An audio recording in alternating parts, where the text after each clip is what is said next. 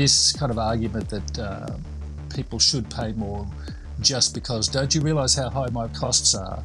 People don't care. I'm Dani Valent, and this is Dirty Linen, the podcast that takes the issues the hospitality industry finds hard to air in public and shakes them all about. This week on Dirty Linen, we're talking about hospitality business models. What works, what doesn't, what's harder than it used to be, and how can COVID be an opportunity to do things differently for the better? Ken Burgin is a hospitality consultant who reckons he's stopped hundreds of hospo wannabes from sacrificing their own homes and futures for a starry eyed food dream. He's a realist and a numbers guy who loves helping people see the beauty and the necessity of a nice spreadsheet. He sees the pandemic as an opportunity to reset and refocus. Ken, it's fantastic to have you here to share your expertise. Uh, start by telling us a bit about yourself and why you're the right person to talk to us about hospitality business management. Hey, Dani, great to join you today. Um, yeah, well, um, there's lots of people with uh, lots of good ideas, I guess, at this at this time.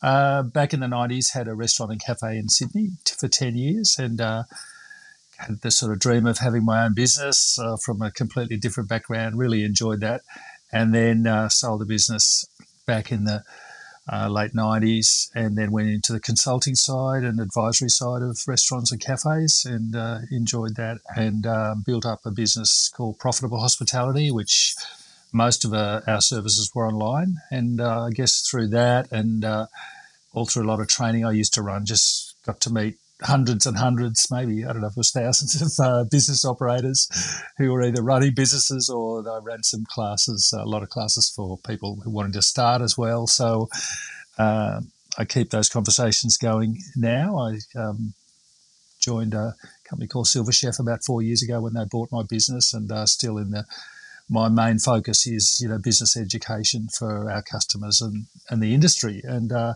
boy, last six months, you know, because it started when the fires hit in Christmas time. Um, it's like nothing we've ever seen before, is it? So all the advice we thought was good advice before, we're having to relook at it and think about it again. Yeah, well, I suppose no one really reckons hospitality was in a brilliant spot before the summer. Um, so, I mean, you're in a good position to do a bit of an overview of the hospitality industry. So, can you can you do that? Like, talk about where it was and what's happened. Yeah, well, you know, one of the the things that is always a burden for people is very high rents, and in Australia, for various reasons, you know, retail rents are very high, main street rents or shopping centre rents. So that is is kind of like a, a, very heavy fixed cost that has to be borne by a business, whether it's a quiet week or a busy week. Um, so that's that's the start of the kind of the burden, um, and then you know there's no barriers of entry if you've got a new strip of shops open up under a block of flats, which every block of flats in the street seems to have new shops underneath it. You know, there's more competitors arising. So uh, anyone can open a place uh, pretty simply. It doesn't mean they're going to succeed, but while they're there and uh, doing discount coffees and things like that, they're uh, eating away at everyone else's business. So you know, endless competition. Um, yeah, high fixed costs, and I have mixed feelings about saying high wage costs in Australia because on the one hand uh, yeah, 20 bucks, 25, 30 dollars an hour um, on weekends or something is is high, but these are some of the lowest paid people in the country. So uh, yeah, we've got to sort of solve that problem. Yeah, we've got to solve that problem. Well, well, we'll dig into industrial reform in a in a later episode, but um, definitely wage costs are, of, of course, you know, a big part of the way restaurants need to try to balance the books. Um, what about the the way that restaurants tend to operate? What kinds of things have you noticed um, uh, through your journey? Yeah, well, uh, one of the things that's that the smart operators are, are, grabbing hold of very quickly at the minute in this, you know, difficult COVID nineteen time is using technology much more more cleverly and much more um, carefully to whether it's managing purchases or managing their roster, um, letting people order online, handling the bookings, keeping track of all the numbers. And the numbers are something that people in hospitality have traditionally been pretty weak with. Uh, whether it's just you know costing the recipe that we're going to be using of the seafood pasta and you know working out how much each of those prawns cost um, or looking at you know our projections ahead for our um, labour costs over the next few weeks. A lot of businesses been what i call rear vision uh, management where you're looking at the rear vision mirror and seeing what happened last week or the week before and oh dear that wasn't very good was it? But you know we've actually got technology and um, simple ways to look ahead now and do you know more projections and more planning. So yeah, we've got um, kind of tools at our fingertips at very low cost that we didn't have five years ago, ten years ago. There's, it's exciting, really, if we want to really kind of manage our business uh, much more carefully. I guess so many hospitality businesses are, built on passion, you know, someone's great idea or someone's desire to have a restaurant, you know, to, you know, the, all those people that are told, oh, you should open a restaurant. This is delicious. Um, the, the hospitality business owners are not always the most sort of, I guess, steely minded when it comes to business, are they? Yeah, that's that's right. And um, look, I love you know someone does amazing baking, fantastic. Um, but you know the difference between a tray of uh, pastries for my friends coming around. Oh, they're a bit late, and those ones in the corner they're a bit burnt. No, it's all right. It's fantastic. Whereas uh, people forget that actually it's manufacturing you're going into, and manufacturing means absolute rock solid reliability. I want the same chocolate croissant when I buy it today or when I buy it next week. I want, you know, that reliability. And manufacturing means, you know, expensive equipment. It means, um, you know, strict processes. There's a lot. I think it's important to think about. It's not, in a way, it is a little factory, and that is the disciplines associated with that. And you know, we don't, we can't have tolerance for fault or for kind of weakness or lateness or those sort of things. That doesn't work. And I suppose the pandemic has has highlighted the fact that you can't. There's no tolerance for uh, being disorganised at the back end of a business as well.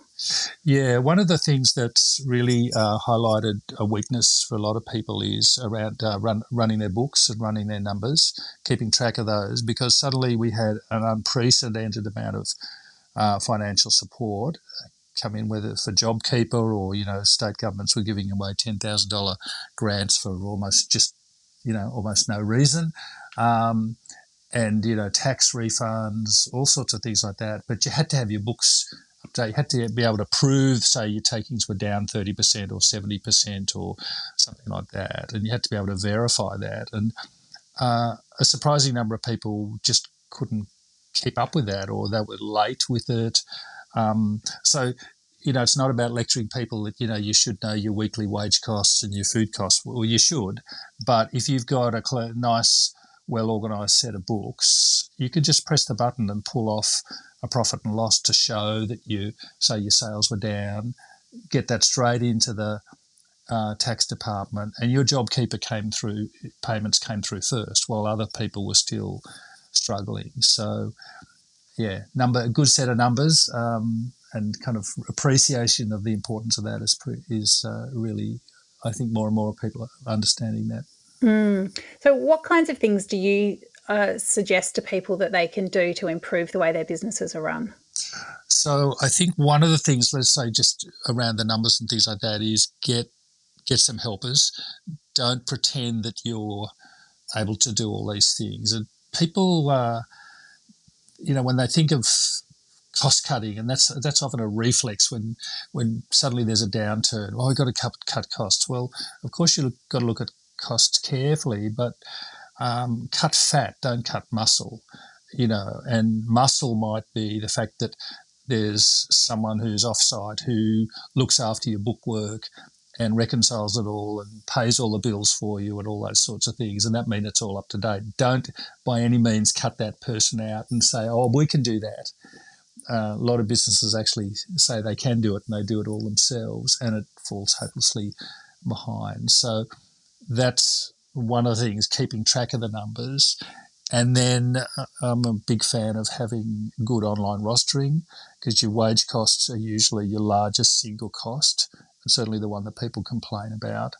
And if you have good rostering, all your staff can access their roster very quickly. You can see right up to you know the end of lunchtime today what our wages were and, and make adjustments if our sales are a bit down, that sort of thing. So just yeah, putting those things uh, you know in place, I think is really important. I was just going to say uh, this the question of you know cutting fat, not muscle. I was like, where's the fat? Because I can sort of hear in the back of my mind a lot of business owners saying, I've got no fat, I've got nowhere to cut. Yeah, yeah, yeah. No, that's that's a good question. Um, well, I think they kind of interpret fat. See, um, there might be, you know, certain times of the week you think, God, we're a bit overstaffed this week, aren't we? Um, uh, gosh, do we really need a, a, cleaner to come in and do the cleaning in the morning? Can't the staff do that at the end of the night? Can't they clean the toilets? you can see where this is going. and, you know, things around hygiene practices uh, easily kind of there's, you know, they're shortchanged. Um, or, yeah, we might be going for, you know, cheaper cuts of meat or certain things like that, or go for suppliers who are offering much better prices or you know slightly better prices, but they don't have the reliability about delivery and those sorts of things. So sure, there's trade offs. Yeah, yeah. Mm. Well, I guess each business has to work out for itself where where the fat is, but I mean, a lot of businesses just don't have much. But I, I hear what you're saying. You know, it's like the the experts that you've got in to help your business run better. That that is not the place to to well they're, they're not the people that you want to abandon they're the people that you want sort of side by side with you in the trenches working out how to do things better yeah yes mm-hmm. so some of the i suppose a lot of people have talked about the pandemic as an opportunity to reset to do things differently you know for you know we never have time to think we never have time to to to reset to recharge and, and this is the opportunity what i'm seeing as people reopen is that a lot of people are just diving back into the way things were. It's, it is really hard to force change in this industry. One of the things that people always talk about is that they need to raise prices. Is it that simple, or why isn't it that simple? Yeah, I, I, I guess I get a bit impatient about that sort of thing. Look, um, pricing is there's so many interesting aspects to pricing. Um, I mean, I use Apple computers. Why do I pay twice as much for a computer if I got a PC? Is that, you know, they've sort of woven this kind of mystique around, you know, Apple products that we pay more. I, I think they're good too, but it's definitely, there's an irrational element. And, and the more you can have it, something irrational and emotional around going to your place and eating your food and having your incredible pastries or whatever, you will pay more within reason. But as soon as you take away the magic, um, and I just look at what's on the plate, it's like, who says it's worth that? And this is where, you know, when I hear these arguments, people are just forgetting that there's a sort of magical element around pricing, but there's also an economics uh, 101 argument that, you know, when you raise the price of any product, people oftentimes the consumption goes down. You know, well, the minute strawberries are eight dollars ninety in my local supermarket now. I love strawberries on my breakfast virtually every morning, but I'm not buying them. Okay, so yeah, we, move on to apples. Yeah, we we kind of forget that the iron laws of economics apply to our business as well. If if and the more we make our product just as just a standard plain, you know, pasta carbonara the same as everyone else does, um, people will start to look at prices. I mean, you can you can nudge prices up, twenty cents more on a coffee, those sorts of things. Um, but it's this kind of argument that uh, people should pay more just because don't they realize how good quality? Don't you realize how high my price, my costs are? People don't care, and um, yeah, they. They really don't. They, don't want to hear hard luck stories from restaurateurs. But I mean, hopefully, they don't also want their restaurant to not be able to make any money. Therefore, it goes out of business. It's it's a it's a really it's a tr- it's a tricky one. And I, uh, I mean, also restaurants are a place to create the magic and the mystique. So, is that an answer that, like, sure, put your price uh, of a dish up two dollars, but you need to have a little bit of extra magic to to account for that price rise? Yeah, and again, create the magic that people actually want, not the magic that you think they want. Like, uh, you know, I'm of a generation where I go into uh, most places and I think this is so loud. This is really uncomfortable. And I look around and most people are, you know, baby boomers like me, just like, who chose this music? now, I won't get onto that, you know, that uh, thing that I like to beef about. But you know, just be really conscious about all the elements that go together to create a, a magical, wonderful experience that you want to go back many times over. Um, we should be in the business of creating customers who never leave us alone. They keep coming back, you know. And uh, yeah. Well, well, what are some of the things that people can do?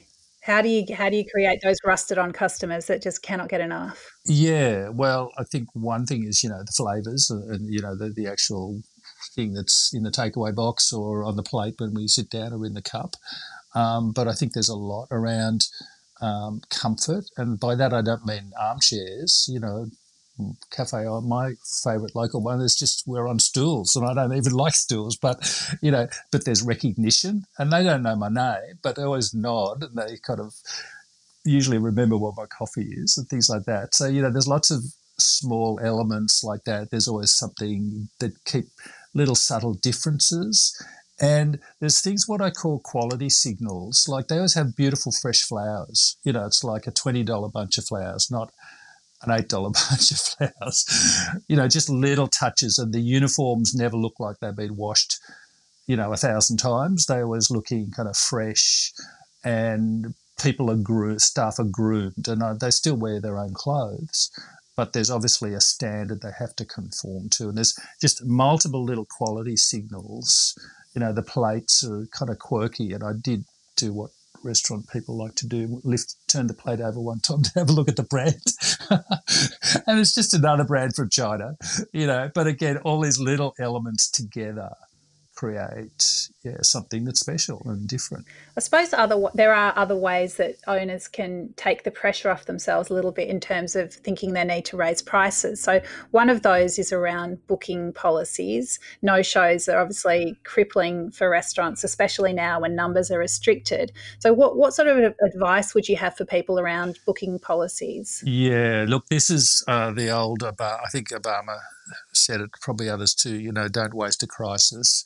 And this is time to really toughen up on um, rules about booking, especially for key times, like, you know, whether it's a weekend evening or Sunday brunches or whatever, but time for um, deposits and cancellation fees because all that can be done through apps now. You know, the booking app.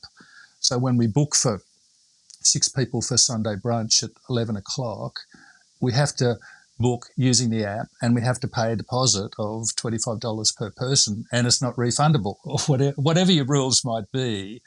But, you know, explain these things and, you know, say it with a smile, but, you know, tough love because, you know, in restaurants, we've, we've been sort of telling people, no, you can't with a smile in lots of different ways for a long time. This is just something we've been a bit neglectful around. I, I think I get a bit impatient sometimes. So, you know, it can be devastating if you can only see 10 and half of them don't turn up. But I think, boy, if you can only see 10, I would be wanting full payment for, for those people, you know, while that situation arises. So we, have got a chance to reset some of the rules, I think.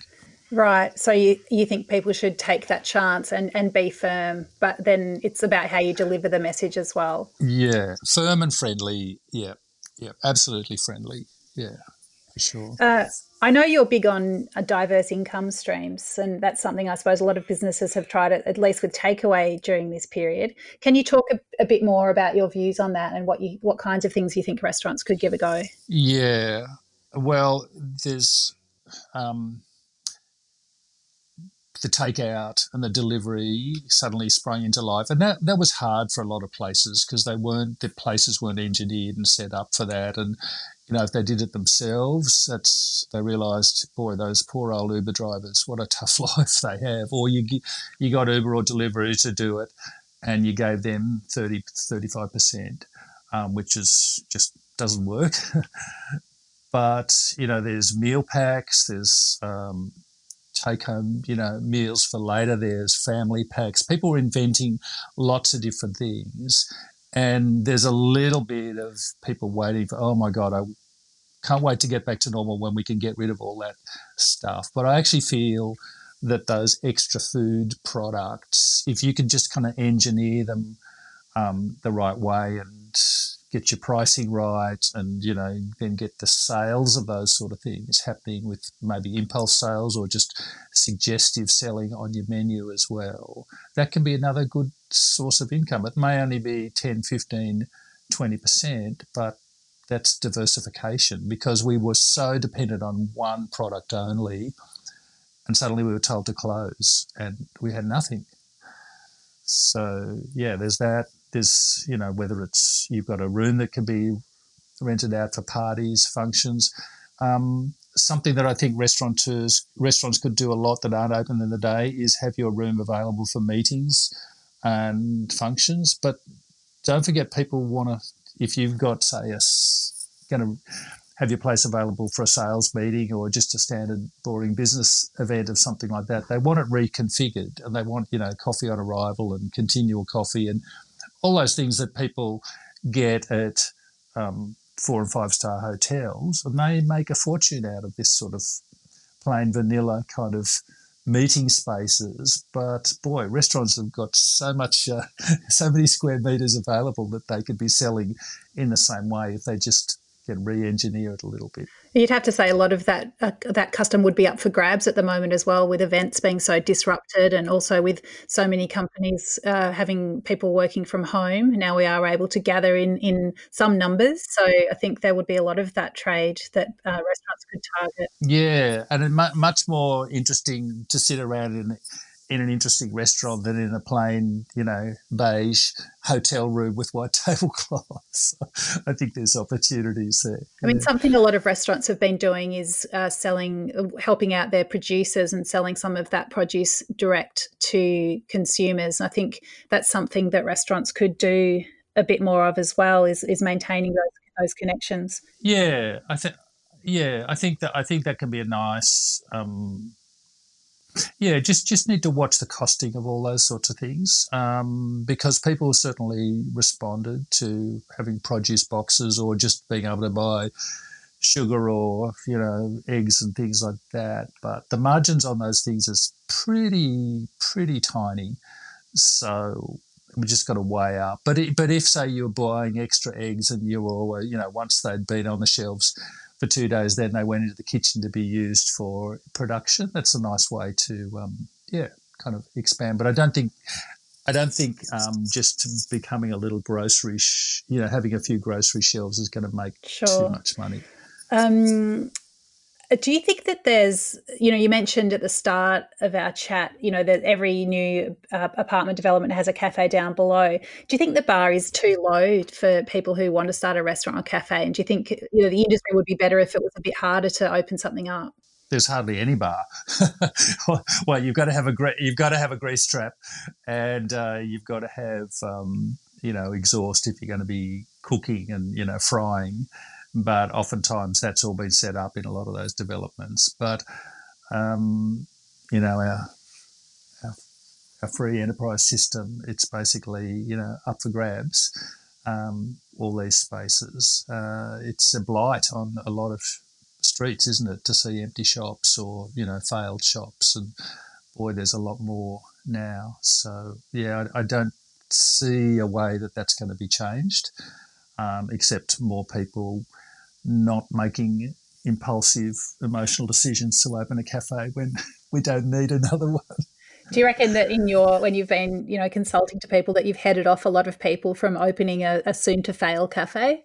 Yeah, look, look the way I, I, for a long time I used to run a, a, a day course for people starting a cafe and restaurant, and we talk all about trends and customers and employment, and I always used to leave the numbers till the last because then I would just go through and explain the idea of break even point, which is, you know, the idea that you've got your fixed costs like rent and they're the main leasing costs. And then you've got to pay for those fixed costs with the profit on every plate you make, you know, a plate of pasta or something. And only when you've paid all your fixed costs, then you can start to make a profit. Anyway, we just, I just gently put the numbers together and that's when the penny would drop and people were often in quite a bit of shock to think that, wow, is that really? You may, I mean, I'm really sick of my IT job, or boy, I wish I, I want to get away from teaching, but really take, you know, a cut to you know halve my wages and double my workload or something. So yeah, but what about my food dream? Yeah that's right yeah. What about helping people and you know being friendly to everyone that sort of thing? It's yeah numbers uh, a good set of numbers makes a difference. Definitely, and yeah, and being rigorous about those numbers at every step along the way. Um, a lot of you know, it is hospitality, and I think that people in, in hospital in hospitality want to serve people and please people, and they want to be able to say yes to most requests. But I feel like that that's meant that a lot of businesses have just tried to be everything to everybody and sort of lost focus on their core and you know what they were trying to do in the first place. Do you think that that's uh, that's an opportunity uh, to reset around the pandemic well? to just stop doing so much. Mm, it, it is a tricky one, you know, because, you, and you see these people say, you know, we're in the business of saying yes, or, you know, the answer is yes, whatever. In fact, they pr- often have the ones that are successful. It's a bit of a PR thing the way they say that because they actually have quite kind of tight guidelines about what's possible, and within that they can say yes. Um, but you know, like we were talking about cancellations before, or just even variations on the plate. You know, like, can I have mine with this or with that? You know, the whole thing of dietaries at the minute is a bit of a nightmare for a lot of operators because it's not like people are allergic to things; they just prefer to have something different, and you know, it just slows up production in the kitchen. So we've got to, yeah, just kind of go back to being a little bit stricter, like we were saying before, you know, strict with a smile and, um, yeah, be a lot tighter around it. Were you really saying that you can say no to somebody's keto preferences on, on a menu? Is, is that really okay in 2020? Uh, look, if you find that in your area keto is big, have a whole keto section. Um, of, you know, this is what people are finding, say, with vegan options. They do a whole vegan section and it goes nuts. That is wonderful.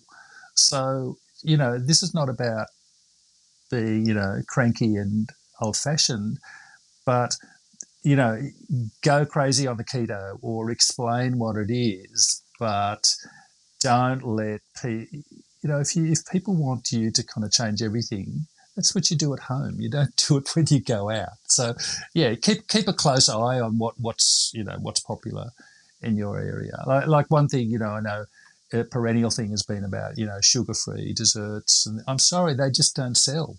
They just don't sell. You know, so we've tried that for years. so you don't need to be all yeah. things to all people. No, no, but be a lot. But but and, and again, just be constantly listening and testing and go and see what other people are doing well and keep your eyes wide open. Yeah, constantly researching and um, yeah, smoke and mirrors. that little bit of magic and that little bit of mistake, and perhaps if you get it right, you can charge a couple of extra bucks for it as well. Absolutely, absolutely, yeah, yeah, yeah. I, I love people. I love it when people are the most expensive place in the street, they're always full. I don't mean because they're, you know, $100 a head place, but just, you know, their coffee's 50 cents more and their pastries, you know, 80 cents more, and it's a $12 sandwich, it's not a $9 sandwich. I love that. So they're, they're obviously able to communicate the value. Yeah, yeah. Mm. All the value is just there. It's, it's, yeah, it's obvious to their customers. Um, okay, well, Ken, let's finish with a little bit of positivity and let's look at the opportunities that have come out of the pandemic. If a business was looking to, to reset, to forge on, to do better than, than they've ever done before, what kinds of things would you advise them to do and to look at now? So, one thing we talked before about rent. So now's the chance to have a really tough decision either with your current landlord or look at somewhere else because there are going to be landlords who are, you know, really needing to do deals, really deal. And, you know, the, see, you've got a lot more room to move if you, you got your rent down. You know, rents, uh, if that's your rent's like 10, 12, 14% of your sales, that's crazy. You know, that's just too expensive. But if you can get your rent way, way down, then you've got more freedom to, you know, be keep your costs maybe your menu prices down a little more and things like that. So one opportunity is you know much harder negotiation around occupation costs, um, and I'm actually not in favour of cutting wages, but I am in favour of keeping your wage costs down because you're watching that much more closely and aligning the labour to when you're busy. So every time it's busy, we've got enough staff, and there's no one looking around thinking, "Where's my waiter? Why is this table still dirty?" That's not the magic and mystique either. No, and and in per, for purchasing, you know, your, your food now. Um, well, beverages been pretty well organised, you know, with say wine and and uh, other beverages online, but you've got some terrific uh, suppliers now, and they've all pretty much gone online. So you can go online, you can find the best prices, you can do deals, you can actually really calibrate that stuff, and then you can feed it into your own kind of recipe costing systems and things like that. So you can really watch all these costs so tightly, and if your people are prepared to start to you know watch the numbers and not say that's that's too hard and that makes my head hurt. you know, watching those numbers, you've got the systems, you've got your bookkeeping and everything like that. That you can be, yeah, just keeping a really tight eye on thing, and then you've got fantastic through social media, fantastic promotional opportunities as well to be, you know, pumping up Monday night if that's quiet, or um, promoting, you know, a new function menu or the, the daytime, um, so you know, meeting space that you've got to set up in your restaurant or something like that. So yeah, a lot more deep. You've got opportunities to really get into the details a lot more easily and and and kind of leverage them. And so, what's the mindset? Is it a scary time or is it an exciting time? Um, let's not underestimate how difficult it is emotionally for people. This is, you know, there's a huge amount of stress, but um, it's yeah, it's a time for incredible resilience, and sadly, there's a lot of people who haven't had that strength for all sorts of reasons, and they just have, they're not going to make it through. But for people who can really, hopefully, they're not too indebted. You know, they they've got. I'm not saying they've got lots of money in the bank, but they're not, you know, too burdened by debt. There's terrific opportunities there, but the industry is going to be smaller and people are going to be poorer and we've got to be ready to offer, you know, terrific value. But people, Aussies love to go out. They want to eat out. They want, you know, they're just going to trade down. Mm. Yeah, well, I think there's going to be a lot of restaurants and cafes that will be ready to meet people where they are and to make the most of it in their own businesses. Um, thank you so much, Ken, for sharing all your advice and yeah, tips born of your own experiences. Really appreciate your time today. Thank you. Enjoyed it very much. Thanks, Jenny. Cheers. This is Dirty Linen, and I'm Dani Valent. We air the issues that the hospitality industry finds hard to talk about. We spend a week thrashing around each issue, hearing from different people with unique perspectives. We want to hear from you as well. If you have something that needs to be said about a topic, get in touch so we can include your perspective. Contact us at dirtylinen at deepintheweeds.com.au or hit us up on Insta at Dirty Linen Podcast. We can't wait to hear from you. This is a Deep in the Weeds production.